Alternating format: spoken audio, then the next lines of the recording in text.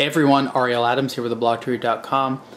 Please subscribe to Blog to Read videos on YouTube and like this video if you find it useful.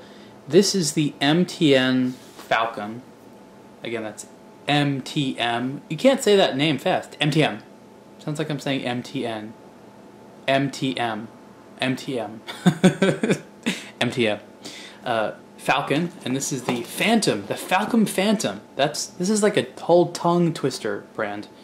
The MTM Falcon Phantom, yeah, okay, um, in titanium, and this is a really interesting watch. So MTM makes what they call um, like special ops or military watches or things like that that are meant for like I don't know uh, people that want to be soldiers or soldiers or people that have all sorts of special things. It's it's kind of just a military theme brand that definitely has watches that if you're in the military or doing things you know military style, you could rely on these watches.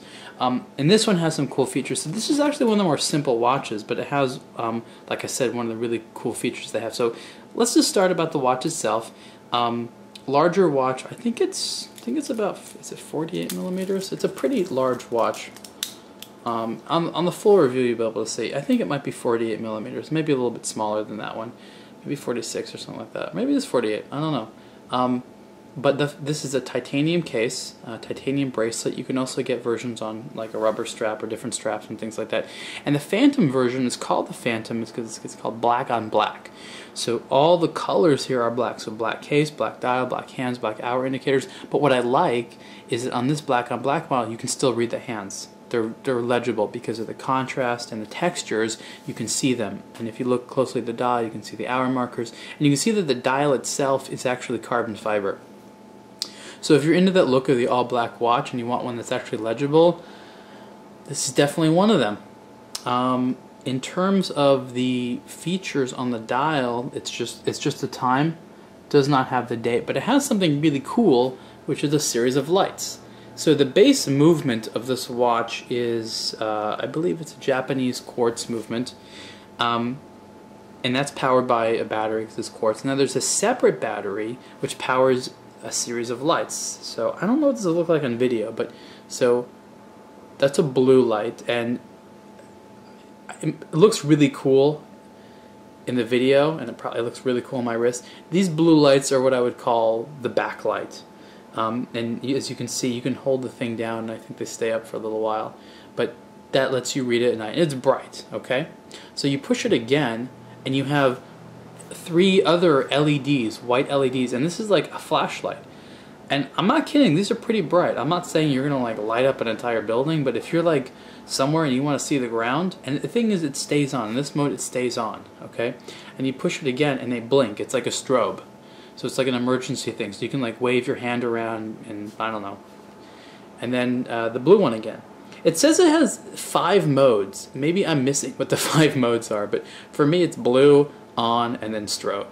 So the other couple modes, I don't know. I have to read the manual maybe.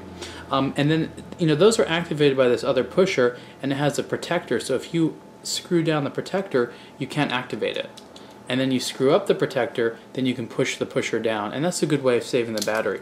So what MTM does is they throw in a um, an induction charger. So you have this base. Uh, it plugs in, and then you sit the watch on this base. Oh, I guess the other mode is the blue light can stay on rather than come off. So then you stick it on like that, and it, that charges the um, the second battery. There's some, I think there's a lithium ion battery. And the good thing is you don't have to like plug in. You sit on the base and it charges for a little while.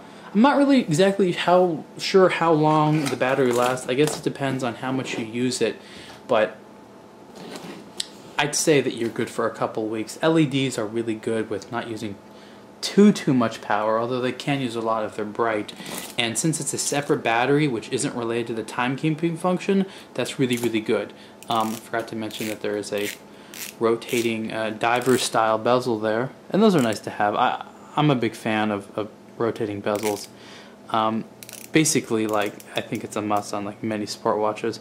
I forget how water resistant this is. It says on the dial, but like I'm trying to read. It's like hard to read the text. It's at least 100 meters. It might be 300 meters. It's, I seriously I can't read it. It's like because like when you have print on top of a um, carbon fiber dial, like that's it like blends in.